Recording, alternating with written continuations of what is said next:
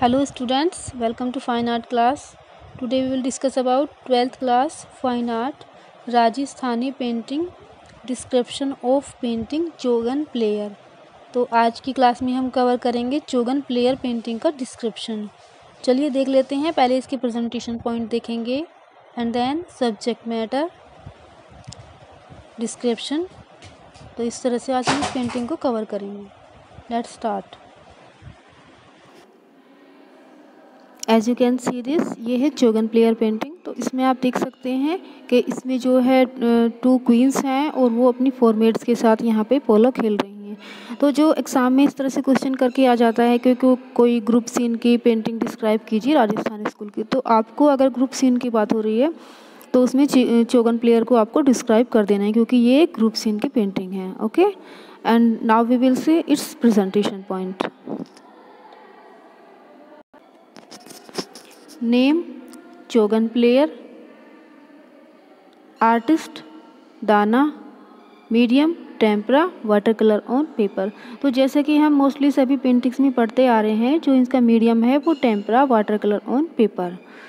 Period eighteen century AD and sub schools की बात करें तो ये कौन से सब स्कूल की पेंटिंग है? तो जोधपुर। जैसे कि हमने कई सारे सब स्कूल पढ़े हैं राजस्थान में, Jodhpur, Jaipur, Bikaner, Kishangarh, Mewar.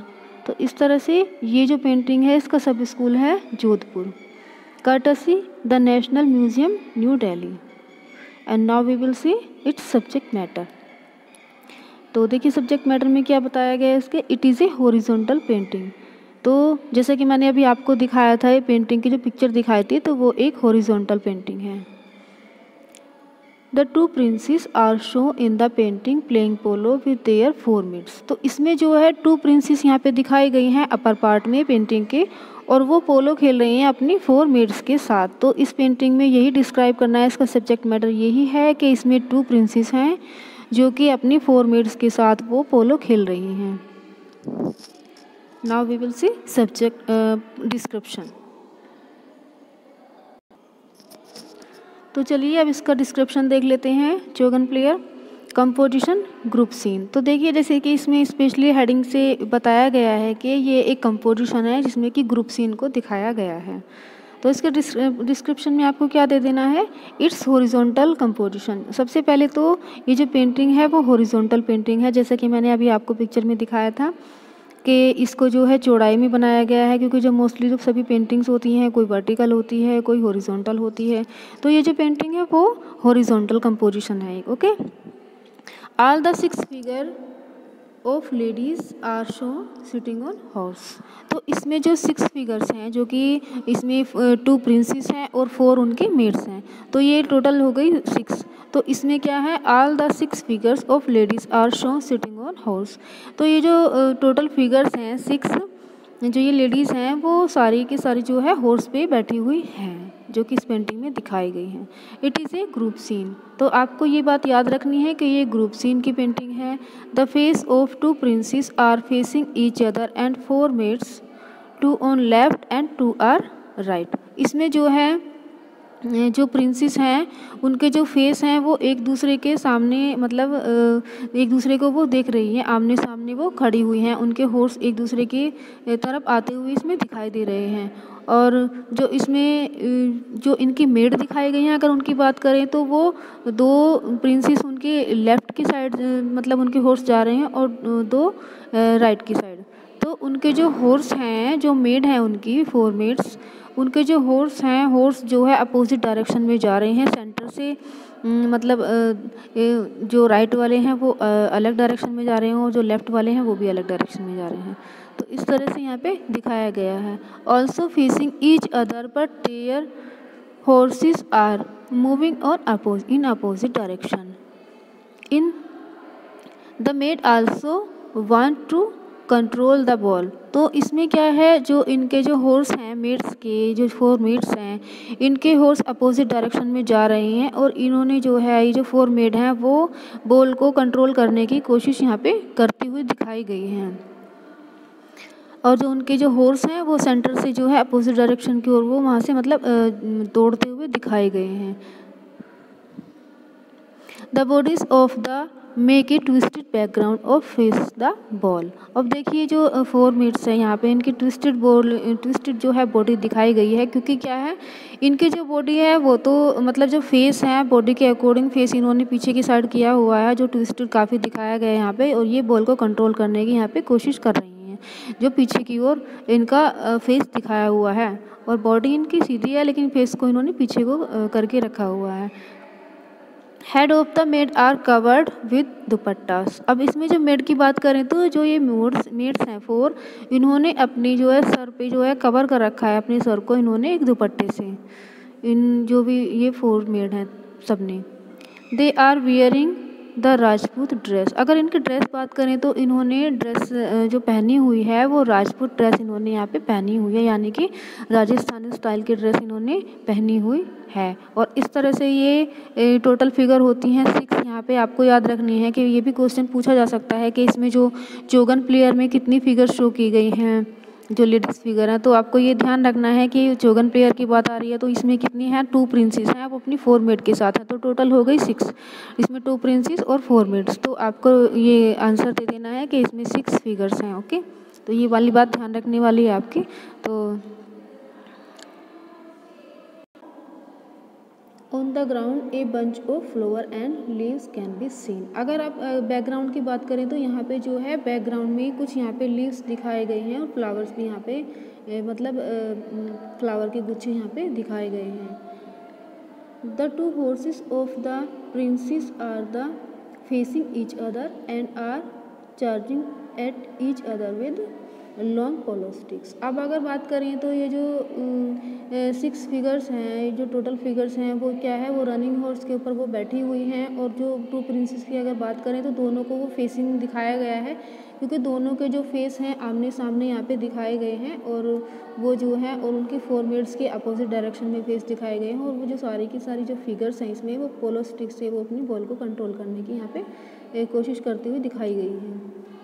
They want to control the ball तो जैसे कि मैंने अभी बताया कि वो बॉल को कंट्रोल करना चाहती हैं। उनके हाथ में जो है छः स्टिक्स हैं, यानी कि वो छः फिगर हैं तो वो छः यहाँ पे स्टिक्स दिखाई गई हैं। और वो जो स्टिक्स हैं, वो चारों की चारों जो मतलब छः की छः जो हैं, वो बॉल के अराउंड यहाँ पे दिखाई दे रही हैं, क्योंकि वो यहाँ पे बॉल को कंट्रोल करने की जो है कोशिश कर रही हैं।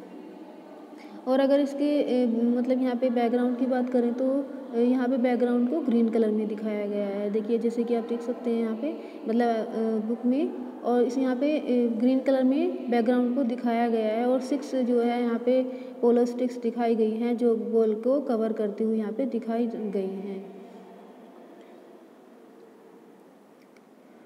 और जो है यहाँ पे अगर बात करें तो जो लेडीज़ के फेस हैं, वो प्रोफ़ाइल फेस हैं, जैसे कि मैंने बताया राजस्थानी पेंटिंग में जो हम पढ़ते आ रहे हैं, सभी फिगर्स के मोस्टली जो फेस दिखाए गए हैं वहाँ पे, वो इनके प्रोफ़ाइल फेस दिखाए गए हैं, यानी कि एक चश्मे चेहरा यहाँ पे इनका दिखाया गया है।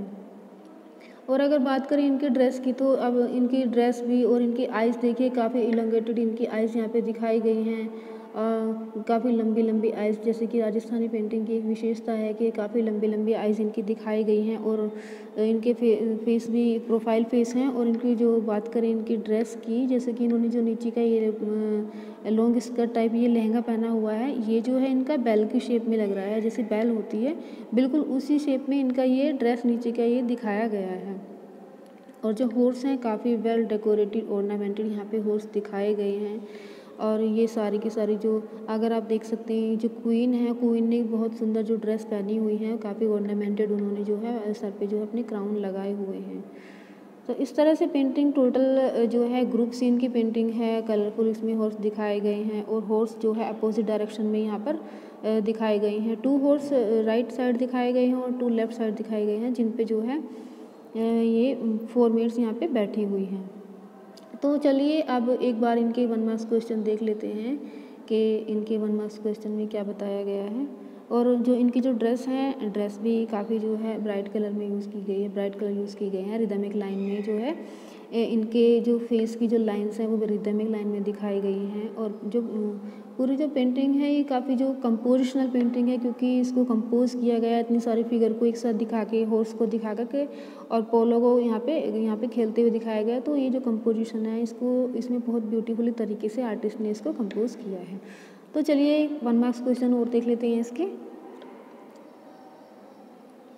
तो जैसे कि हम कवर करते आ रहे हैं वन मार्क्स क्वेश्चन क्योंकि जो आपके सिलेबस में जो पूछे जा सकते हैं वन मार्क्स क्वेश्चन वो पेंटिंग के जो डिस्क्रिप्शन में से या फिर उसके प्रेजेंटेशन पॉइंट में से या फिर सब्जेक्ट मैटर में से तो वो कहीं से भी पूछे जा सकते हैं, इसलिए मैं आपको कवर करा दे रही हूँ। तो एक बार देख लेते हैं कि इसमें से किस तरीके से क्वेश्चन बन सकते हैं। तो name of the painting made by Dana तो जो दाना ने जो पेंटिंग बनाई है उसका नाम क्या है? तो आपको आंसर दे देना है चोगन players name of the artist who painted चोगन player अब देखिए, इसी क्वेश्चन को यहाँ पे बिल्कुल घुमा फिरा के उल्टा पूछ लिया गया है। तो कौन सा मतलब जो चोगन प्लेयर पेंटिंग है, वो किस आर्टिस्ट ने पेंट किया तो यहाँ पे आपका आंसर होगा दाना। ठीक है? What is the medium of the चोगन player painting तो मीडियम uh, बहुत सिंपल है। जैसे कि हम पढ़ते आ रहे हैं इसमें आपको बस एक बार एक बार पढ़ लेना है और आपको पता चल जाएगा कि tempera water colour on paper इसका जो है मीडियम है। The period in which the चोगन player painting was made अब इसका पीरियड बताइए जब ये पेंटिंग बनाई गई थी तो किस पीरियड में ये पेंटिंग बनाई गई थी? तो आपको आंसर दे देना है इसमें। एटीन सेंचुरी एडी इसका टाइम पीरियड है जब ये पेंटिंग बनाई गई थी okay name the sub school of the चोगन player painting तो इसके सब स्कूल की बात करें तो ये इसका सब स्कूल कौन सा है?